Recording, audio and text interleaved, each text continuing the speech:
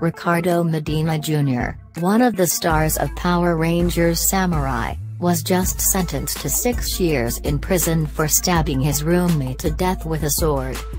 Ricardo appeared in court Thursday where the judge handed down the maximum sentence, two weeks after the actor pled guilty to voluntary manslaughter, and admitted he used a sword in the killing prosecutors said Ricardo Medina Jr. stabbed Josh Sutter multiple times at a home they shared in Green Valley, Los Angeles County, in January 2015, after Sutter interrupted Medina's attempt to retreat into his bedroom with his girlfriend following an argument with Sutter that escalated into a brawl.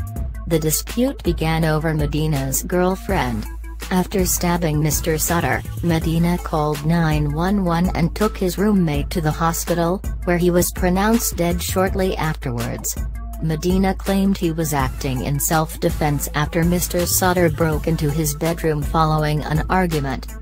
At the time of the killing, he was booked on murder charges and held on $1 million bail after calling the cops on himself but was released after claiming the killing was in self-defense.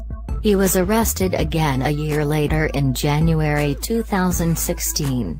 If convicted of the charge, Medina faces a possible sentence of life imprisonment with a chance of parole after 26 years. On March 16, 2017, Medina pleaded guilty to one felony count of voluntary manslaughter, is sentenced on March 30 and expected to serve a maximum of six years in prison.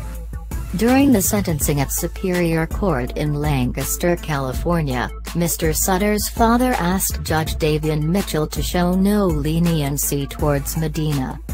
Ricardo Medina Jr., born January 24, 1979, is an American actor.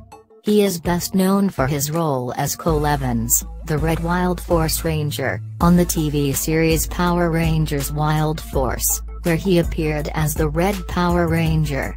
Most recently, from 2011 to 2012, he portrayed Deker in the TV series Power Rangers Samurai, his resume also includes stints on ER and CSI, Miami.